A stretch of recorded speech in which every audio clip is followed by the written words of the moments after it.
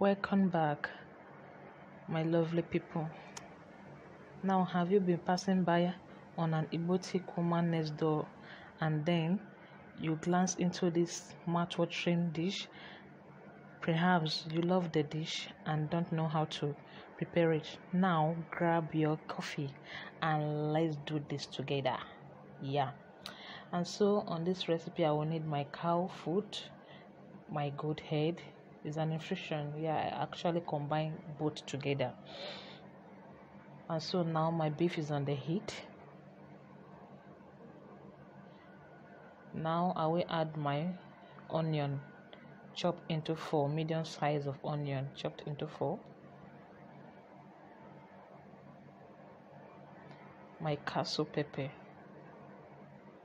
that is actually optional but i love the taste it gives to the sauce of my beef so that's why i'm adding it. Though when cooked i will separate it from the beef before use.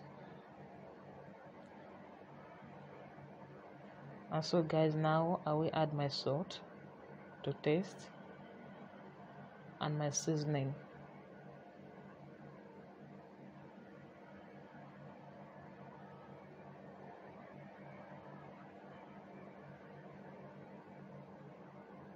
and so that I will stir together. And then I will be adding some water to this cow foot. This actually need a lot of water.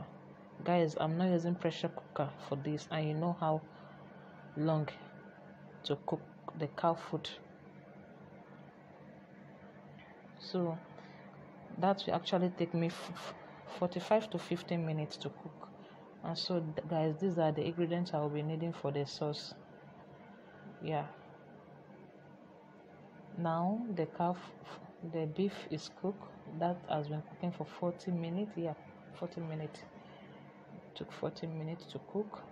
Now we'll cover that and these are the ingredients i will use. My bitter ham is uh, my spanish yeah I'm using Spanish. I'm supposed to use utazize, but I run out of it, the fresh utazize. So I'm using the Spanish in order to make the video, you know, nice. So that's my calabash nutmeg, my audible potash. The calabash nutmeg should, in case you don't know how it look like, ewuru. We call that ewuru in Igbo. That's my chili, my blended crayfish, my palm oil half cup of a palm oil will be enough for this recipe. And so guys back to the beef. Now what i will be doing is to separate the bone from the beef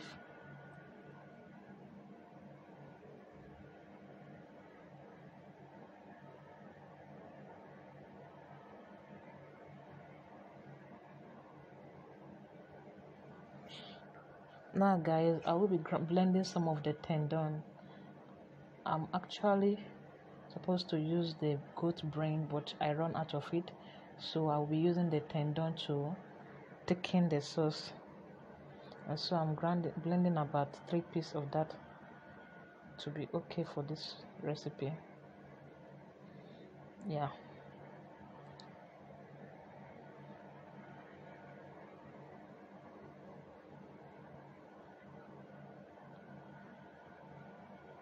so guys i will be adding some warm water to the tendon before blend to enable it to blend easily. I'm actually gonna blend this blend it nicely until well smooth like a puree or creamy form you blend it as much as you can. When thick you add a little bit of the warm water so it blend easily. Yeah.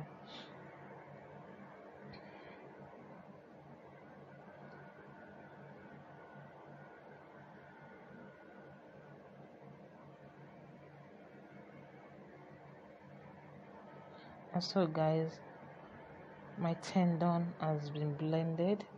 But it's thick for my liking so what i actually did was to mix it with a little bit of warm water before use. Just too thick can you see that? I added some warm water to it.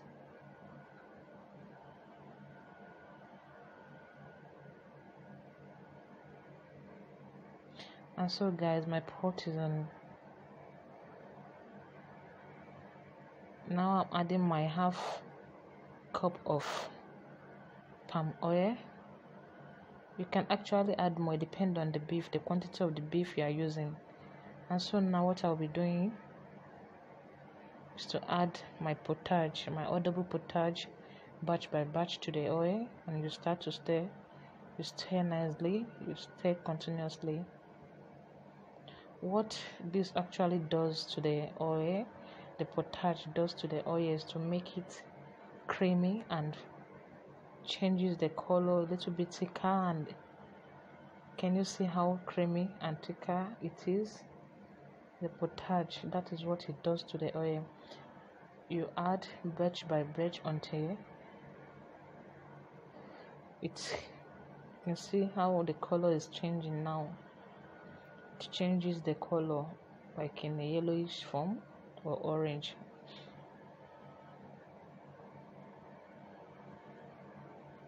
Yeah keep on stirring that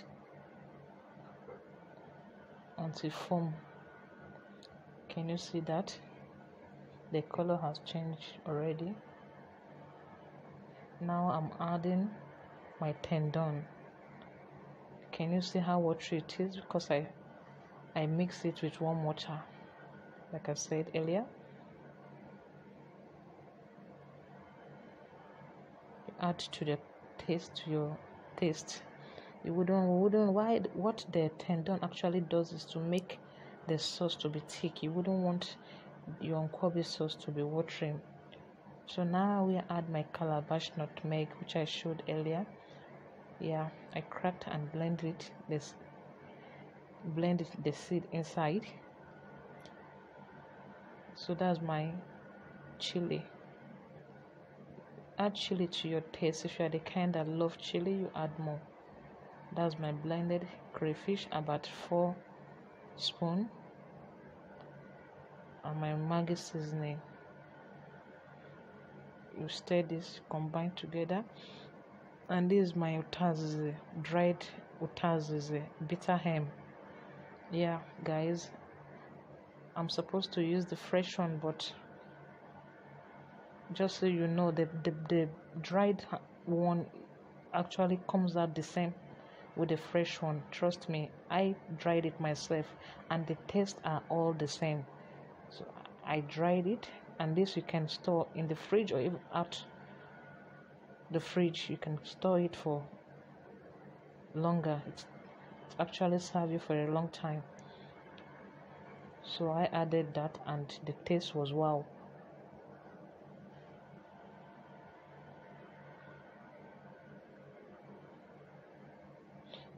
and so guys now you'll be adding your beef to the sauce.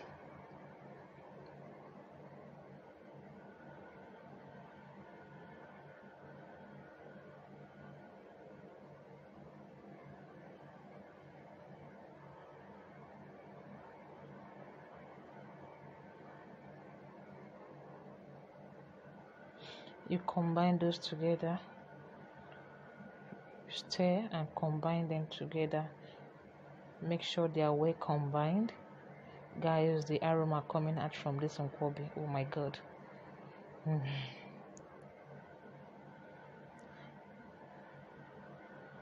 guys you can as well try this process that i'm using for this nkwobi and you will love it. This nkwobi already is making me feel hungry.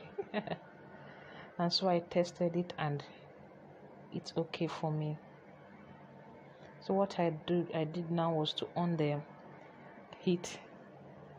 I on the heat and leave that to simmer for about two to three minutes yeah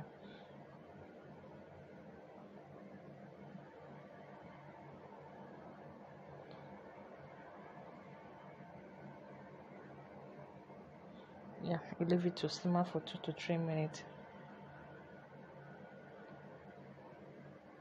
So guys the nkwobi is ready. Guys i will be coming back to stopping to my channel? Saying a very big thank you. God bless you. And if today is your first time please do not fail to leave a comment. Give it a thumbs up and subscribe to my channel and if there is any video you want to be seeing on this channel please do not fail to leave it on the comment section below. I really appreciate you guys. Guys can you see the color now? I will be adding my spanish. This an this is an alternative for uziza. I was supposed to use the fresh uziza but because i don't have it and for the video we wouldn't like to see the be looking one kind one kind you understand what i mean so now i'm using the spinach to just garnish the face of the nkwobi yeah. My hobby actually love to take this with some chill wine on a cold and rainy day. So today i'll be serving him this with some chill wine. You can use it with any soft drink that you want. Any soft drink. This can actually be made for anyone that is dear in your heart, and so hobby will be.